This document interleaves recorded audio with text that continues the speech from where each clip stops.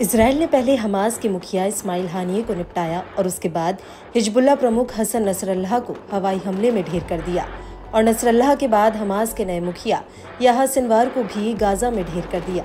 वहीं दूसरी तरफ़ बेरूत में नसरल्लाह का उत्तराधिकार हाशिम सैफुद्दीन भी मारा गया। इसराइल ने एक के बाद एक हिजबुल्ला और हमास के सबसे बड़े नेताओं को मार गिराया। और इसी बीच इसराइल ईरान पर जवाबी हमले की तैयारी भी कर रहा है। लेकिन ईरान ने साफ़ कह दिया है कि अगर इसराइल ने उस पर हमला करने की कोशिश की तो उसका अंजाम बेहद ही बुरा होगा।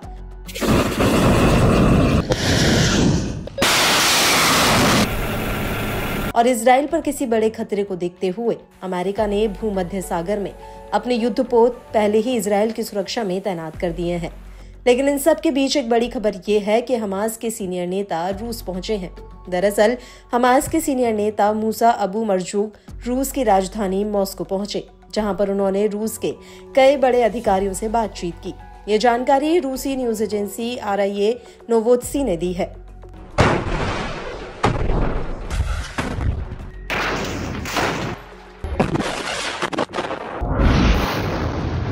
दरअसल, हमास के नेता किसी खास मकसद से पुतिन से मिलने गए हैं और वो मकसद गाजा से जुड़ा हुआ है। दरअसल, हमास नेता मूसा अबू ने मॉस्को में रूस के कई बड़े अधिकारियों से मुलाकात की है और इस मीटिंग के दौरान उन्होंने पुतिन से गुजारिश की है कि वो फिलिस्तीनी राष्ट्रपति महमूद अब्बास पर इस बात का दबाव डालें कि वो गाजा में युद्ध के बाद एक यूनिट सरकार बनाए, जो वेस्ट बैंक से लेकर गाजा पर शासन करे।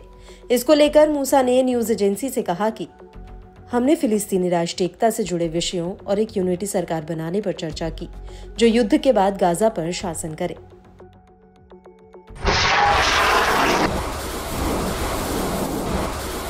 हमास का कहना है कि उसने रूस से कहा है कि वो राष्ट्रपति अब्बास को इस बात से के लिए प्रोत्साहित करें कि वो गाजा में युद्ध के बाद एक संगठित सरकार का गठन करें। आपको बता दें कि मोहम्मद अब्बास फिलिस्तीनी अथॉरिटी के मुखिया हैं और अब्बास भी इस वक्त ब्रिक्स सम्मेलन में हिस्सा लेने के लिए मॉस्को में मौजूद हैं। गौर करने वाली बात यह है कि करीब 30 साल पहले ओस्लो अकॉर्ड्स के ज़रिए फिलिस्तीनी अथॉरिटी का गठन किया गया था, जो कब्जे वाले वेस्ट बैंक पर सीमित रूप से शासन करती है और इसी वेस्ट बैंक को फिलिस्तीनी भविष्य का एक आज़ाद देश बनाना चाहते हैं। आपको बता दें कि फिलिस्तीनी अथॉरिटी पर राष्ट्रपति अब्बास की फतह पार्टी का नियंत्रण है, जिसके लंबे समय से हमास के साथ अच्छे संबंध नहीं है। वहीं इसके उलट, गाजा पर इस्लामिक अतिवादियों का शासन है और फिलिस्तीन के इन दोनों धड़ों में एक छोटी लड़ाई हो चुकी है और इसी वजह से अब्बास की पार्टी को साल 2007 में गाजा से निकाल दिया गया था। वहीं दूसरी तरफ़ राष्ट्रपति अब्बास खुले मंच से गाजा युद्ध के लिए हमास को जिम्मेदार ठहरा चुके हैं। और फिलिस्तीनी अथॉरिटी के अधिकारी मुनीर अल जगहूब ने भी 14 जुलाई 2024 को सऊदी अल अरबिया को दिए एक इंटरव्यू में कहा था। अगर हमास इसराइल के साथ आमने सामने की लड़ाई लड़ना चाहता है तो वो पहले ही ऐसा उन इलाकों में कर चुका है, जहाँ पर सेना तैनात है, और इन जगहों पर नहीं, जहाँ पर नागरिक आबादी है। हमास हकीकत में आम जनता को ढाल बनाकर छिप रहा है।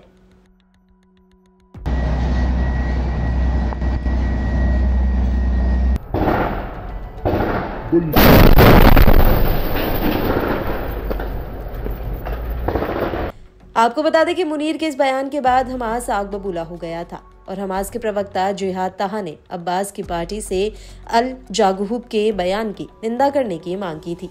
ताहा ने अपने बयान में कहा था कि आपको इसराइल के झूठे आख्यानों को बढ़ावा देना बंद करना होगा और बर्बर हमलों के खिलाफ निर्णायक और दृढ़ लड़ाई में हमारे साथ खड़ा होना होगा। आपको बता दें कि हमास ने कई बार फिलिस्तीनी अथॉरिटी पर इसराइल का पक्ष लेने का आरोप लगाया है। लेकिन अब अचानक से हमास के सीनियर नेता मूसा अबू का पुतिन के पास जाकर अब्बास को गाजा में सरकार के गठने के लिए मनाना इतनी आसानी से गले नहीं उतरता। वहीं दूसरी तरफ़ इसराइल के प्रधानमंत्री बेंजामिन नेतन्याहू खुलकर कह चुके हैं कि वो नहीं चाहते कि अब्बास गाजा में दखल अंदाजी करे।